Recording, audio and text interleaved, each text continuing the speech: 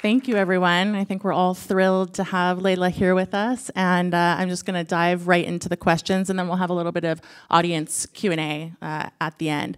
So, Leila, thank you for being with thank us. Thank you.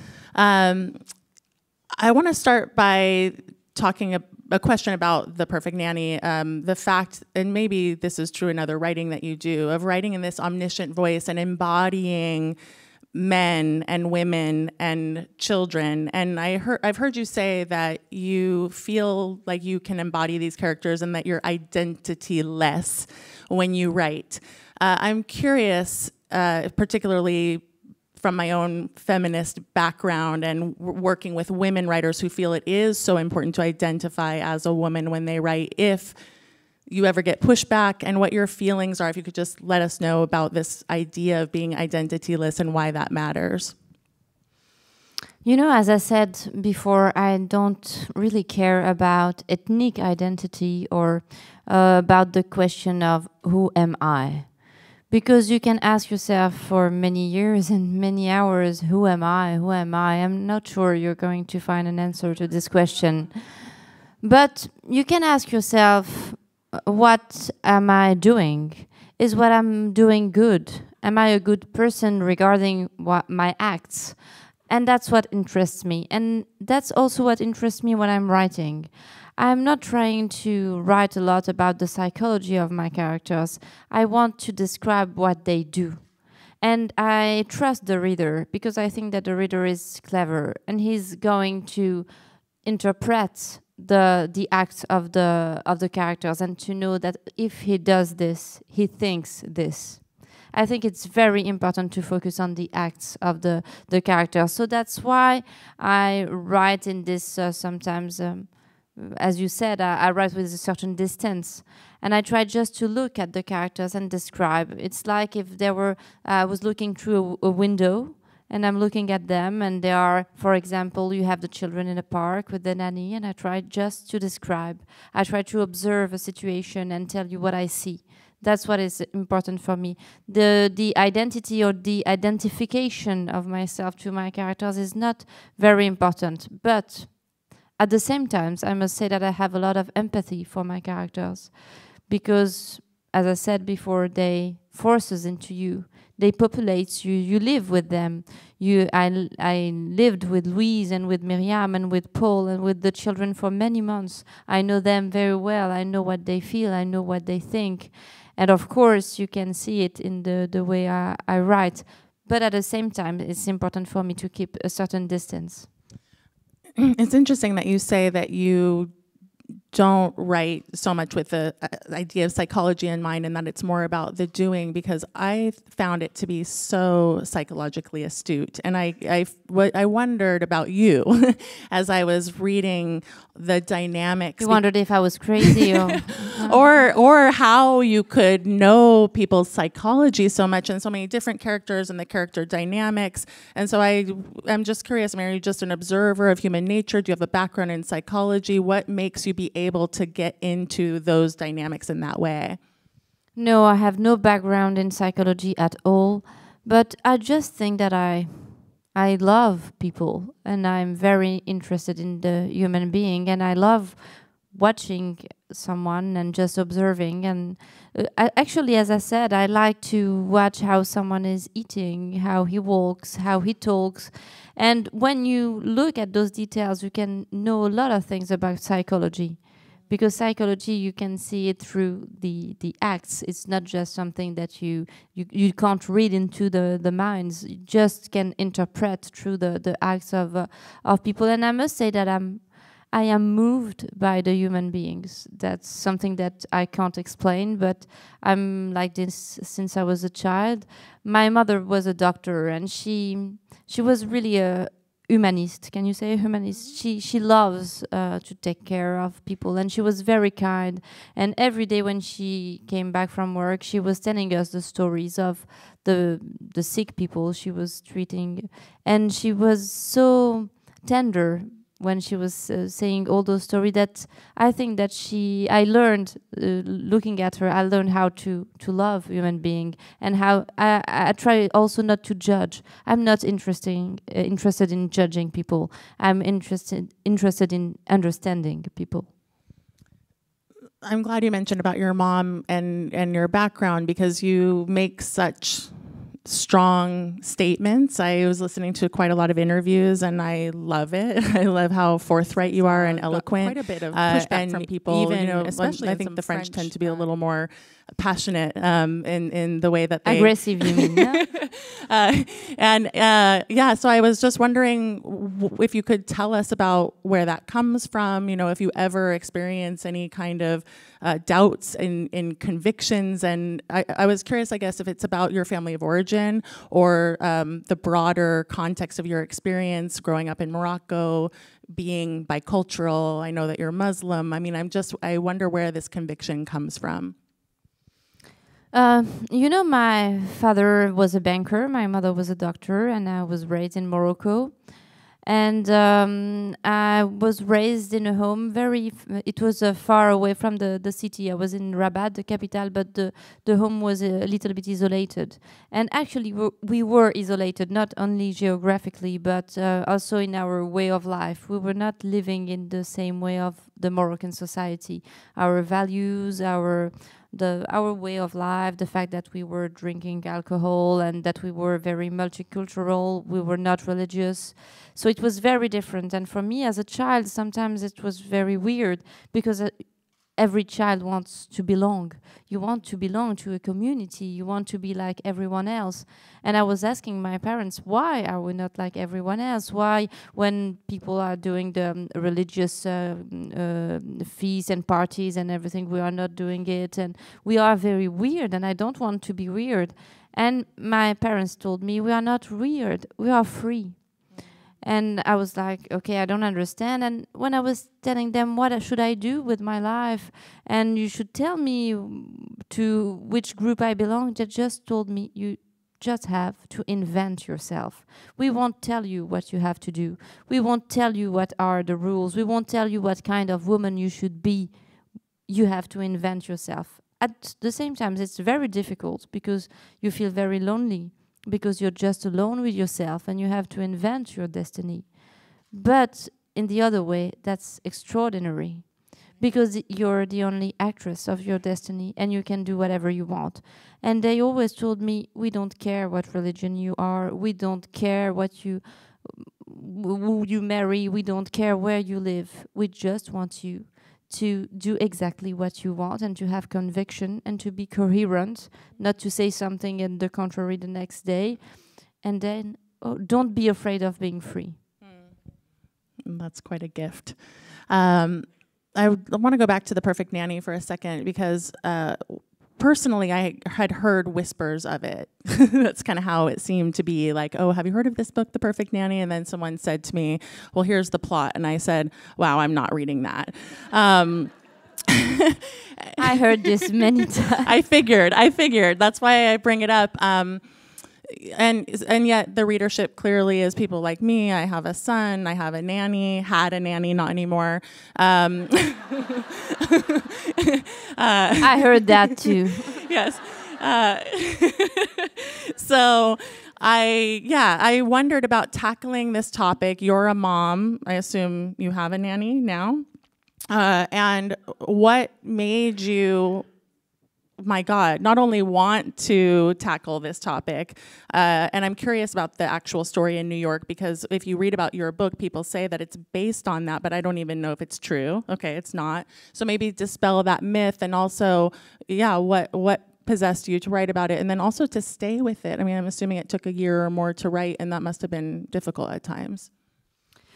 You know, for me, this book is not about the murder, actually. The murder is just a sort of a narrative technique to begin with. But the book is not about the murder. The book is about fear. How motherhood is feeling this fear, this primal fear. You can be Chinese, American, Moroccan, you can be from whoever you want.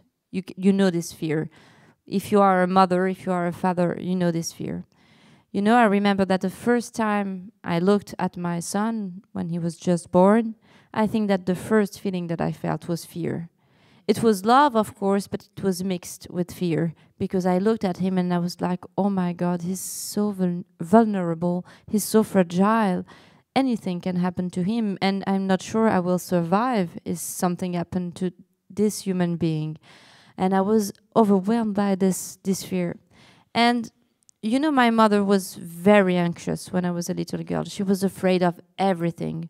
I so now I can't drive. I've never did bike. I, I, can't do nothing because my mother was af always afraid that I was going to hit myself, and uh, and I was always like, "Why are you so anxious? I don't understand." When I was a child, I was very furious against her because of this anxiety, and then I became a mother, and I was like, "Okay, now I understand exactly this feeling," but I thought it was very weird because we never speak about this anxiety. It's like a sort of taboo. We never speak of this fear, the fear that something can happen to our children, the the fear that maybe they could die. Even if I say this, everyone is like, "Oh my God, you shouldn't say it because it's too taboo. It's too." too horrible but i wanted to explore this i wanted to look at this fear uh, in the face I wanted to, in a certain way, it was a sort of catharsis for me.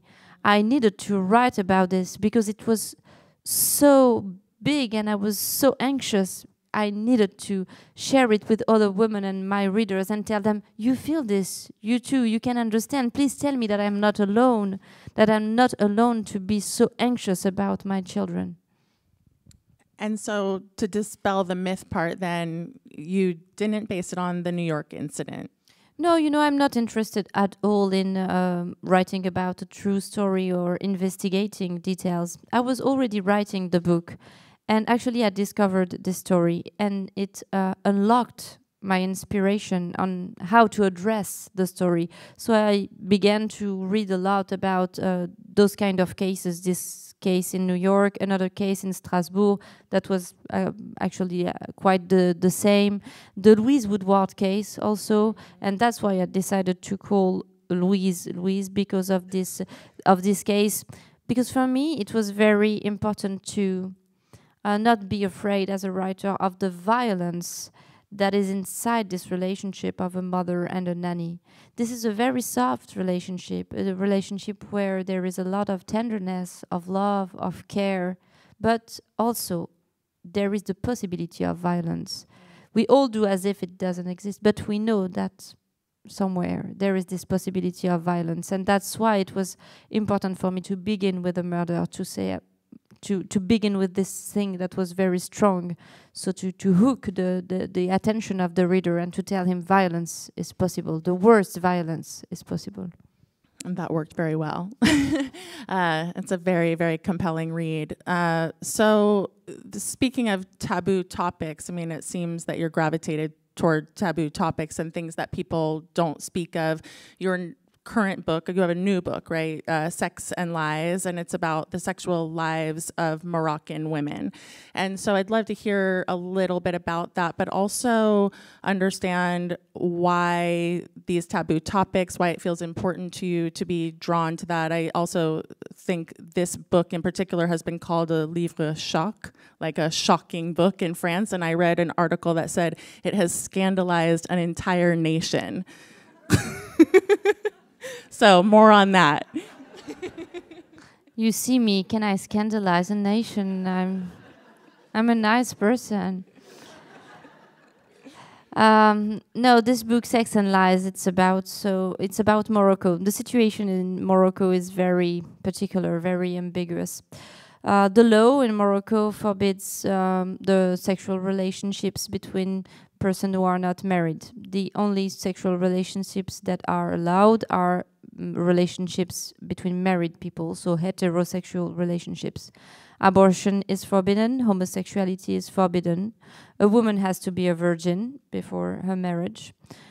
But everyone knows that nobody respects those laws because obviously people have a sexual life. So it's very ambiguous because the authorities say, okay, do whatever you want, but don't get caught do whatever you want, but do it in your home behind the curtains. And if nobody sees you, that's okay. So, of course, if you're rich, you have a house, you have a car, you can travel, it's very easy to have a sexual life. It's very easy to be homosexual. It's easier to get an abortion in good condition. But if you're poor, you don't have a house of your own, or you share your house with your sister, your uh, brothers, your mother, your father, your mother in law, of course, it's very difficult to have a sexual life, to have intimacy, to have a, a room of your own, as uh, Virginia Woolf said. Uh, it's very difficult, of course, to get an abortion in good condition. In Morocco, there is 600 abortion per day, per day. Clandestine abortion, of course, because it's not legal. So for me, this is uh, unbearable. It's shocking, and I'm furious. So I'm fighting for the rights of Moroccan women and men to have a sexual life. To because I think that having sexual rights, it's uh, uh, a human right. They have to, the right to have a, a, a sexuality that is uh, secure, that is um, uh, something that will give you joy, and I think that this hypocrisy, the fact that our own authorities tell us to lie, tell us that sexuality is a shame, that we can do it, but that we have to hidden ourselves, I think that it's shameful to say this and that we should give something else to our youngsters. So I'm furious and I'm trying to fight against those those laws because of course if you say that you have to hide all this and if everything is done in, in, a certain lie. Of course, it's very violent. Of course, there's a lot of aggressivity. Of course, women are more harassed, more raped. When you're raped and you're not married, you can't go to the police and say, "Oh, hello, I was raped because I was with a man in a, you know, in a parking or in a, uh, in a forest," and the, the the man is going to say, "Okay, you're going to prison because now you're not a virgin. You just uh, lost your virginity." So I think it's impossible to to continue like this. So I'm fighting uh, against this in this book. And when I um, I went to Morocco to promote my first book, Dans le jardin de l'ogre, it's the story of a, a woman who is a, a, sex addict. And I went to Morocco, and uh, I was sure that everyone was going to be very scandalized, but they were not because the character was French. and I said, "Oh." Those depraved French. I knew that they were nymphomaniac. I was like, yeah, you know. Um, so a woman came after uh, a conference and she said, "Can I sit next to you? Uh, can I have a drink with you?" And it was okay. And she began to tell me her story, the story of her life, her childhood, when she was a teenager. And she told me, you know, when I was young, my mother, she was nice to me and she let me go to my girlfriend's home and she let me do whatever I want. But she always told me, don't forget. And I was like, why did she tell you don't forget? And she said, don't forget to be a virgin. And this woman told me that she never had pleasure with a man. She never was able to feel free of her body because every time she was hearing the voice of her mother telling her, Don't forget to be a virgin. And so I decided to uh, do a tour in Morocco and to meet the more women I could meet. And I met a prostitute, a doctor, a teacher, a student, a woman who got an abortion, another woman who got raped, different kind of woman, a lesbian. And I just asked them, Can you tell me your story? And what was fascinating is that at the beginning, the woman was very ashamed because in the in Morocco the the concept of shame of what we call hshuma is very important. In Morocco, to be well raised, to be polite, is to be ashamed. Someone needs to be ashamed to be a good person. So at the beginning, the woman was very ashamed to tell me the story, and the more they were telling the story, and the more I feel they were gaining their own dignity. And I that's why I think it's very important to to break the silence and to tell the woman you must speak out. You must tell your story. You're not the one to be ashamed. They must be ashamed. The man who raped you, the man who harassed you, the husband who beats you. It's not you who, you who should be ashamed. So it's very important to tell them to speak out. And the book is the the testimonies of those women. Sounds fantastic. And um, were you always so political, or has it been because of writing that has made you more so? No, I was political even when I was four, you know. I was the, the lawyer of my sisters and then the lawyer of my friends, and I was doing uh, uh, riots and everything. Even when I was a, a little girl, I was always like this. And is it easier to be that way in and from France than living in Morocco? No, I think that if um, um, I have the choice, so I had the choice to go to France, and I'm very happy in France. So I can't really tell you, but if I hadn't had this chance, if I was still in Morocco, I suppose that uh, it would be the same. Um, I want to go I'm kind of flopping back and forth here between the book and, and your life. Uh, so back to the Perfect Nanny because uh, one of the first reviews I heard was here a very popular program called Fresh Air, and I don't know if you heard that review. Uh, Maureen Corrigan, who's quite a famous interviewer, uh, really took issue with your book, and I'm sure many people have. Um, but I thought she got it quite wrong. You know, she said uh, that she thought that the book was very skilled and beautifully written, but that she was really upset with this notion that it would guilt mothers into staying home. Um, having read the book, I couldn't disagree with it more because I think it's so not that. And you actually are quite sympathetic to Miriam. She's not always likable, but she's very relatable, especially in expressing her desire to be away from her children to pursue work. Um, and sometimes missing them, of course, wanting to come home and just, you know, smother them. And I, of course, having been a working mom, very much felt that conflict of wanting to work and that bind that all moms feel. Um, never enough time to work, never enough time for the children. And I thought you really hit the nail on the head. So, what do you say to people who think that somehow you're shaming women into uh, it's some kind of stay at home manifesto? Uh, like, how could they get it so wrong? I say to them, read the book again. I don't know.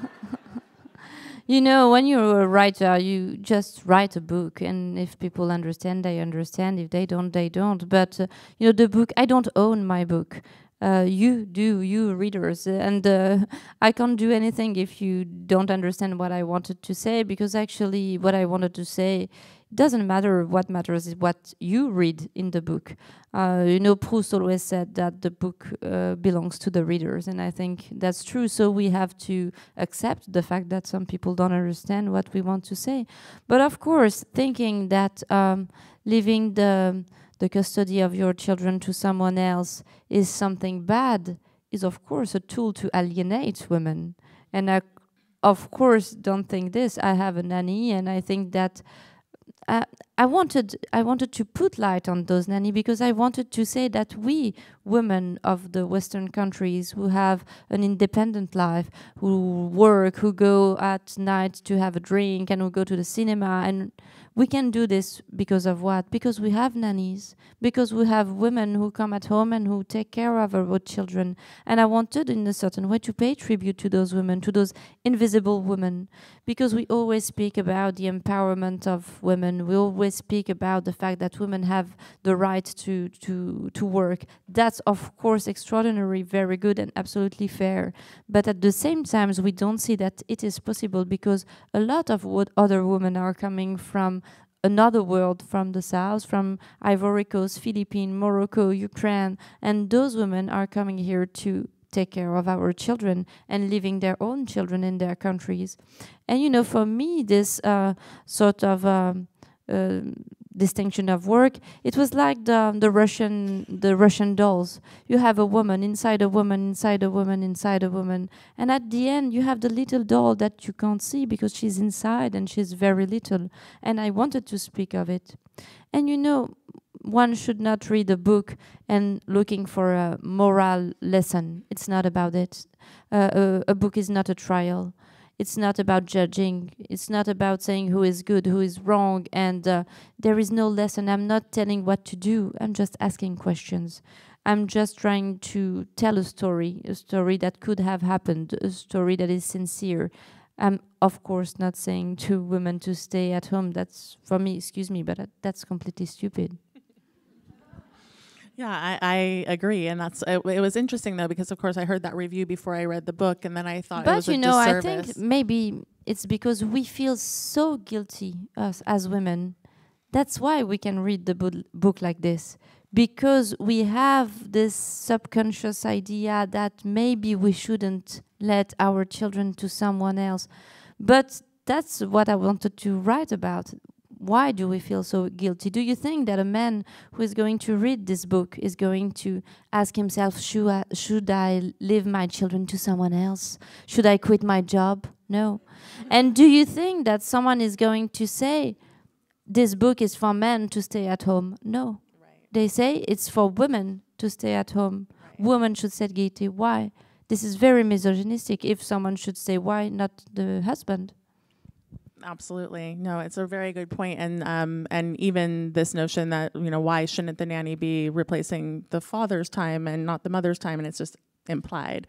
Um, so at the Jaipur Literature Festival, I heard the interview that you gave, and someone in the audience I thought asked a very interesting question about uh, women's bodies. You know, and sort of talking about this idea that throughout time in literature, there's always been a binary, and in our culture in general, there's the binary of the virgin and the whore, and you in response, we're talking about this notion that for so long we've only had one point of view, the male's point of view. Uh, and I loved what you said about women writing and that being this form of expression, and that expression is freedom. And you spoke about this a little bit when you were speaking about your new book.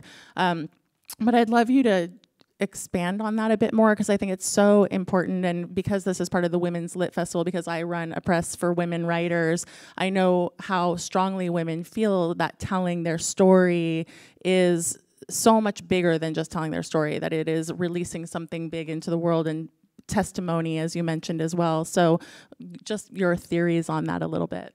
Just for the anecdote, I was with uh, Chimamanda Ngozi Adichie and she told me that one day she was at a conference, and at the end of the uh, conference, a man told her, oh, "You know, you I loved your book so much. I was sure it was written by a man."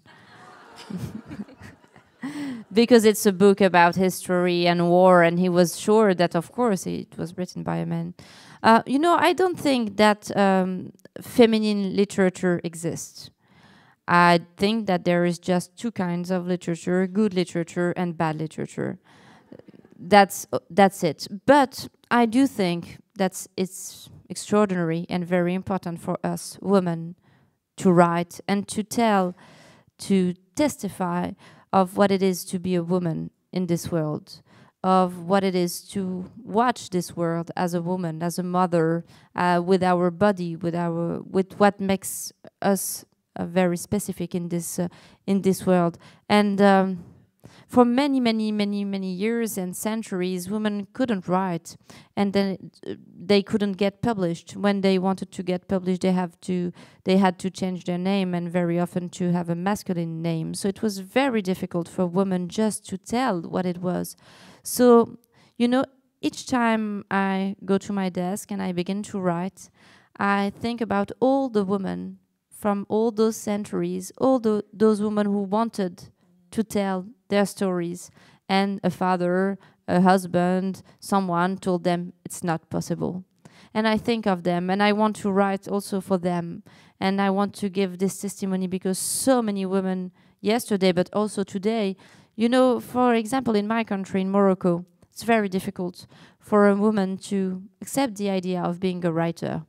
I did a conference one day, and at the end of the conference, I was speaking about my book about a sex addict, and uh, so you know all the scandal I made of uh, scandal of a nation and everything.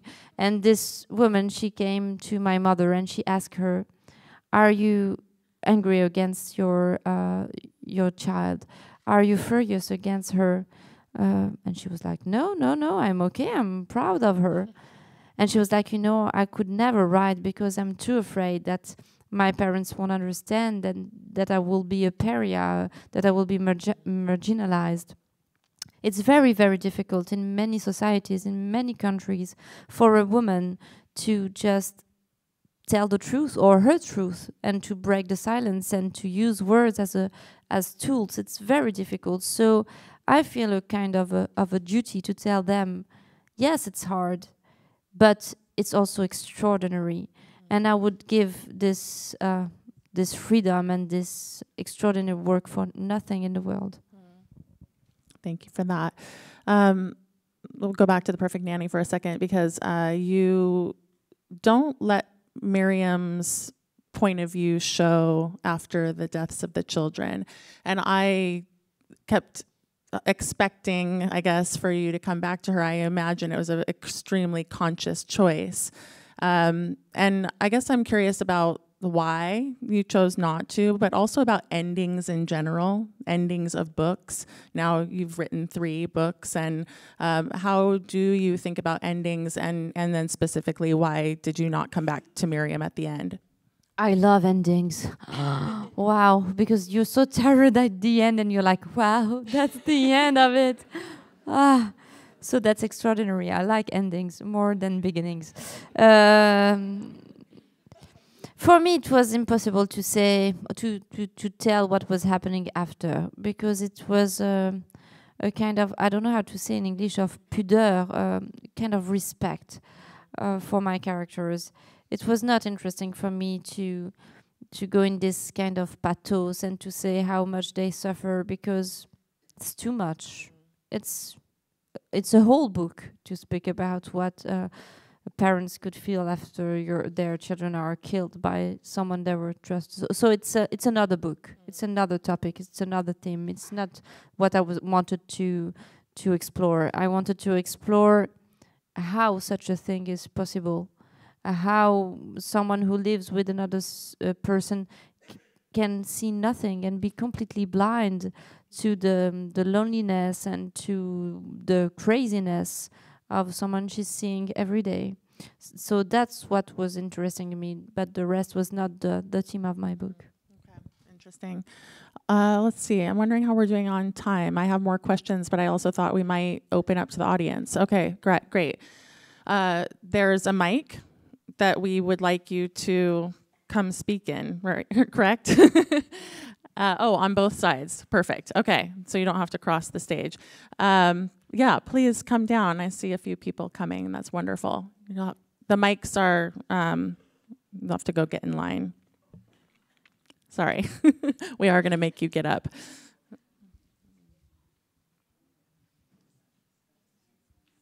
Oh, yeah, you can turn around. Yeah.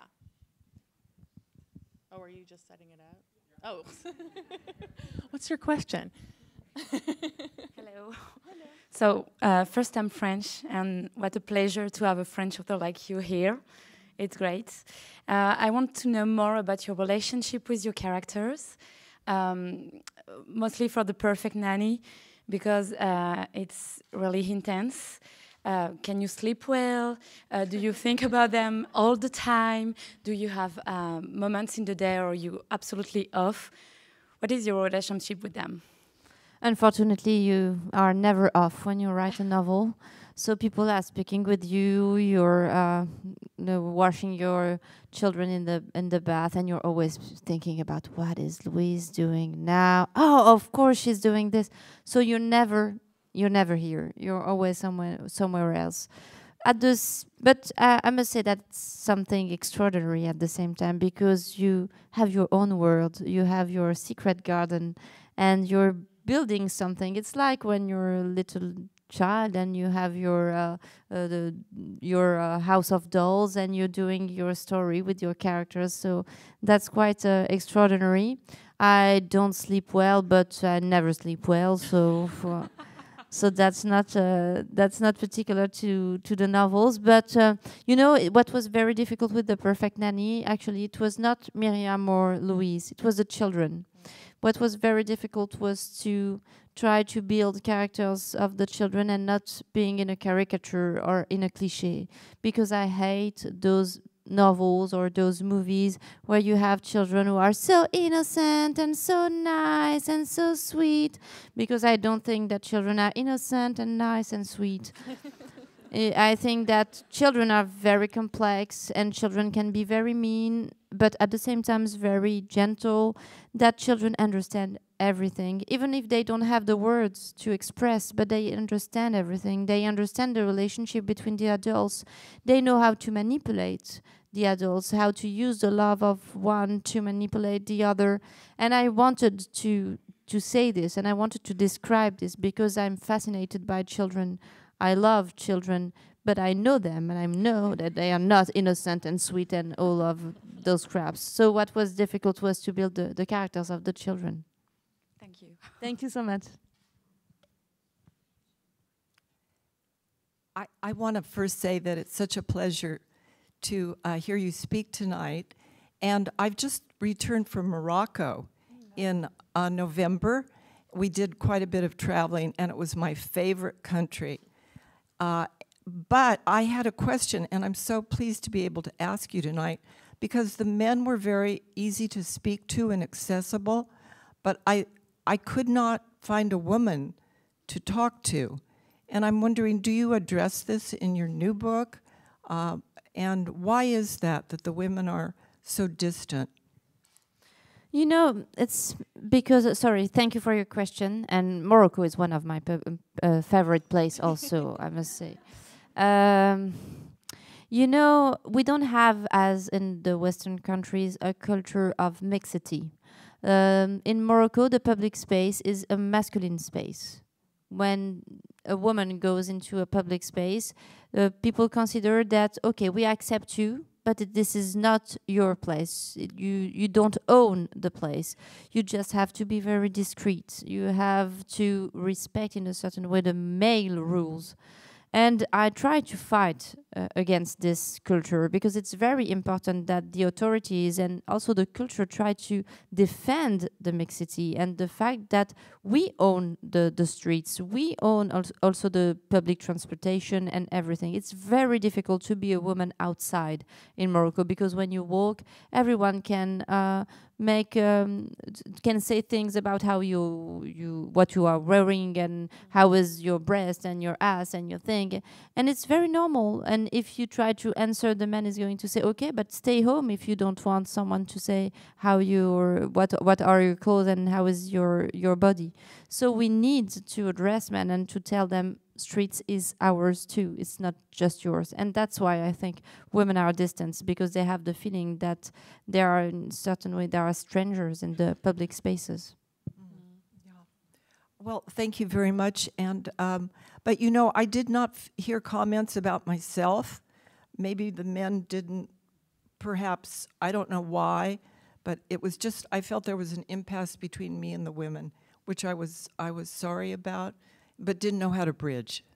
So I understand. You. Yeah, thank you. Hmm.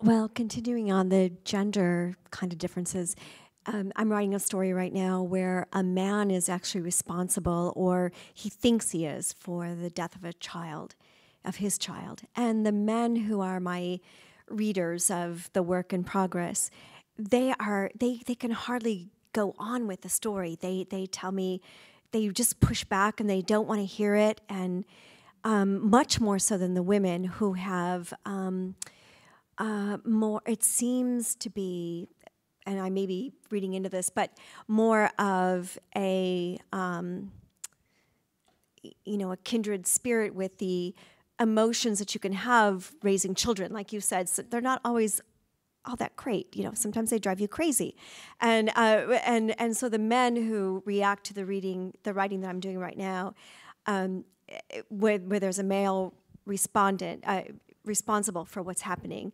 they can't. They they tell me they can't even continue reading. They can't go on, and I just wonder. You know what your experience has been with as you were writing, or as you've had these talks with other people, the gender difference between accepting the death of a child. Yes, but for me, I think that um, women were more afraid of reading my book because um, I think that in the relationship with the nanny, women are more involved. Men, they say, okay, you want to hire this nanny, you decide, honey, that's your choice. Okay, we hire her. But the man, he only comes when uh, it's the time to fire her a lot of friends of uh, woman friend told me, oh, okay, now I need to fire her, so that's my husband who is going to do this because I can't. But for the rest, it's the woman who is dealing with the nanny. So I think that uh, it was more difficult uh, for my book. It was more difficult for women to accept the idea that they can go wrong and not see that the nanny is going crazy and can be uh, dangerous for the for the children. But um, you know, you shouldn't be afraid of the fact that people are telling you, "Oh, I don't want to read this," or uh, actually, that's a good point.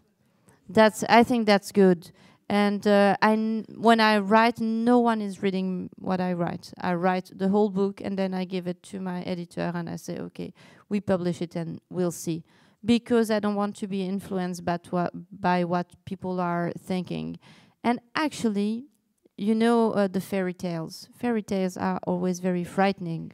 When you tell a fairy tale to a child, you're like the princess and the prince, but when you come to the wolf, and to the ogre and to the things that are very frightening, the children are like, yes, yes, okay. and then you finish the story and uh, I'm too afraid, I don't want to sleep because of the wolf. And you're like, you wanted me to tell you about the wolf. so I think that the adults are exactly the same. We are afraid about the wolf, but the only thing that we want is the wolf. So keep writing about the wolf and the ogre and all the things that are frightening because that's what people want Oh, I love that. Thank you so much. Thank you. Hi. Um, thank you so much for coming today, and it's such an honor to meet you. Um, I'm an exchange student from Morocco. I'm Moroccan, and I live with an American host family here. I'm gonna spend the entire um, school year here. And throughout my experience this year, I could um, notice the difference between women, like how women live here in the U.S. and how women live in Morocco, and I'm aware of the problems that um, um, women in Morocco face every day. Um, so my question is, as I'm a female Moroccan and I'm gonna go back to my country and I really want to like make a change and help improve lives of women in my country. So uh, my question is, how can I do that? And especially because there's a lot of like um, things that I have to face in order to um, speak up and improve um, lives of female in Morocco. So how can I do that? You know, I I hate the idea of acting like a guru and telling you what to do. Uh, because I, I can't, and I'm sure that you will know what to do. The only advice I can give you is that you will come back, and at the beginning, you will want to fight, and it will be very difficult. And you will have the feeling that it's easier sometimes not to say, or to shut up and not to tell exactly what you think. And everyone is going to tell you, oh, that's okay, you know, you have a good life, you live your life, and don't make all this mess. Please be calm. And I'm just telling you, don't listen to them. Thank you so much.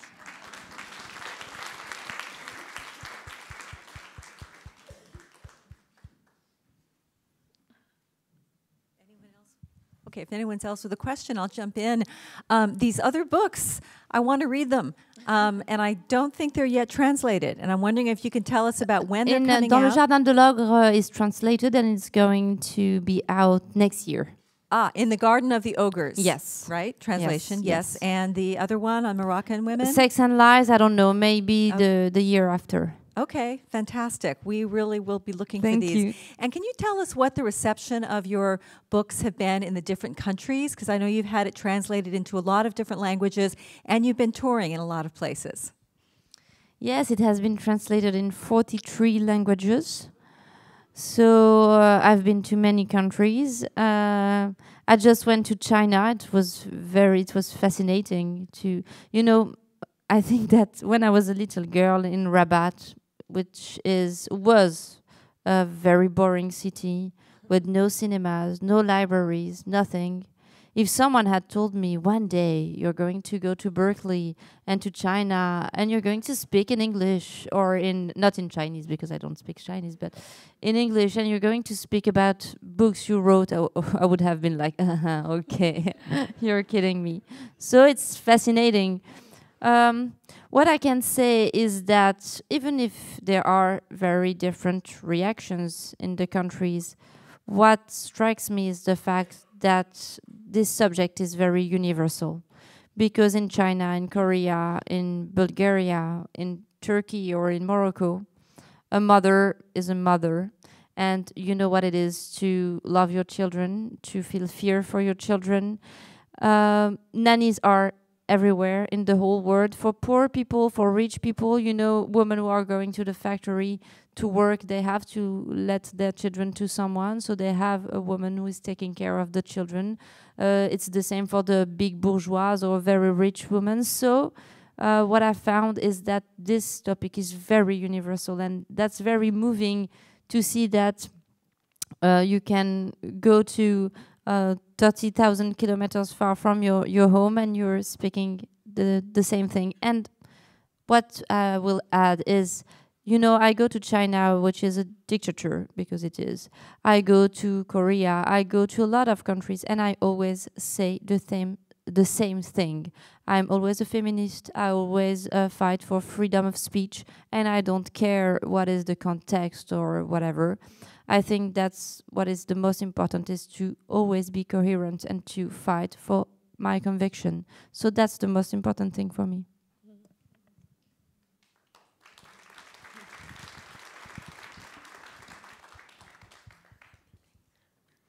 Thank you so much. Um, I've noticed that when someone writes a book, and maybe especially when women write books, there seems to be a, a strong desire uh, to locate um, how the narrative connects to their personal life, their autobiography. And I'm wondering um, how you handle that and, and sort of what lines you draw around.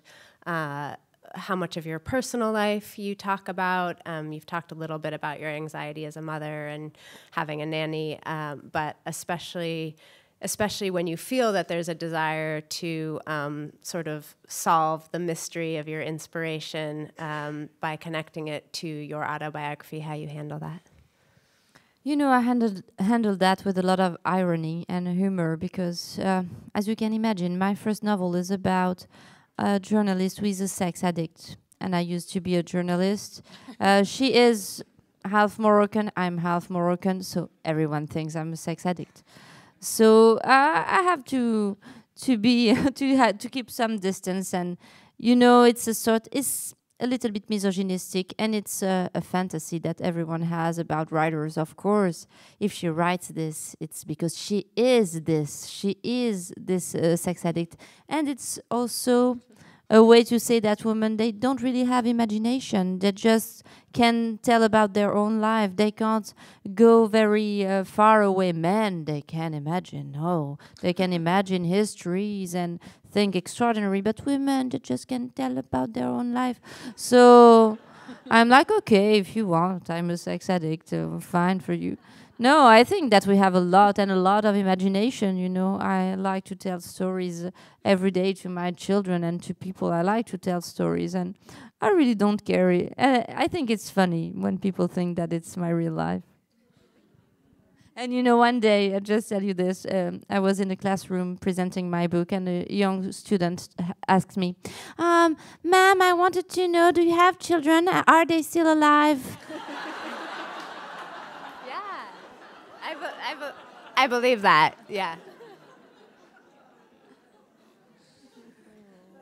Uh, this might be a weird follow-up question after that, but I actually do want to ask about your your process of writing this book because juggling the demands of writing and also having children and I, I also have two young children and I also write and I had a really hard time justifying going to the page to write when this book is not demanded particularly by anyone. I mean, how did you do this?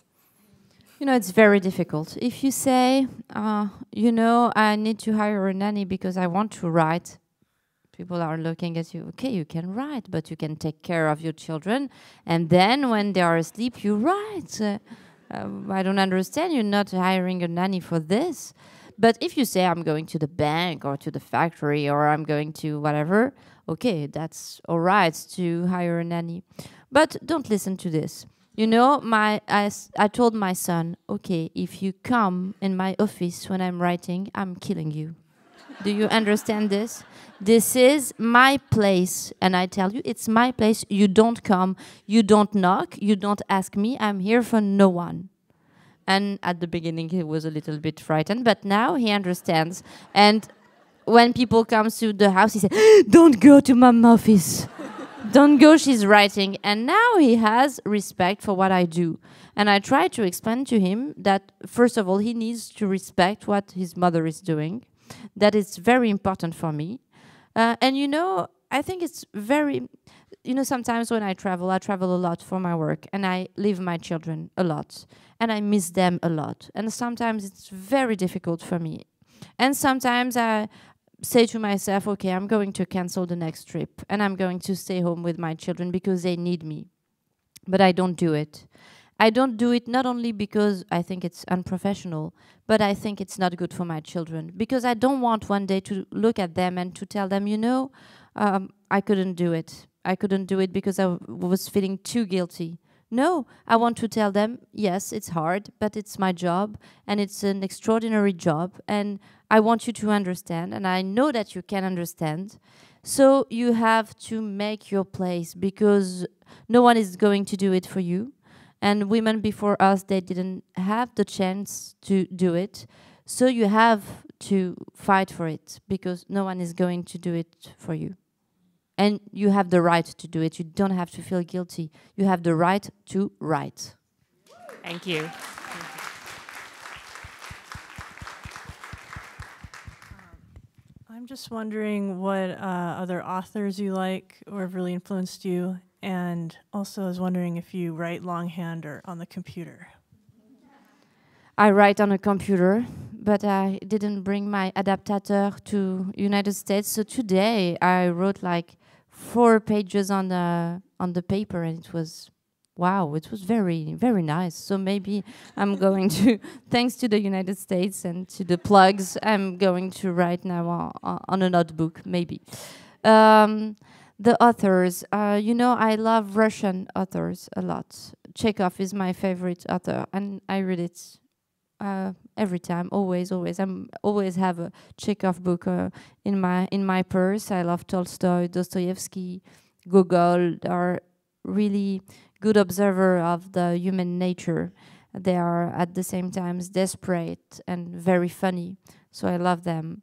Um, I love many authors. It's difficult for me to tell you about all of them, but I would say I love Maupassant. I love Marguerite Duras. I love Russell Banks. I love Philip uh, Philip Roth is one of my favorite authors. Um, I love uh, Gabriel Garcia Marquez and uh, Vargas Llosa. I love also Stefan Zweig that I read a lot when I was younger. So so many authors I couldn't tell you about all of them, but uh, I love reading. Thank you. A good a good sign of a yeah strong strong writers should be good readers. Uh, I think we're it's perfect timing, right? Okay, checking with the the sound people and the video people. So I want to thank everyone and especially Leila. Thank you, thank thank you, you for so being much. with us. Thank you.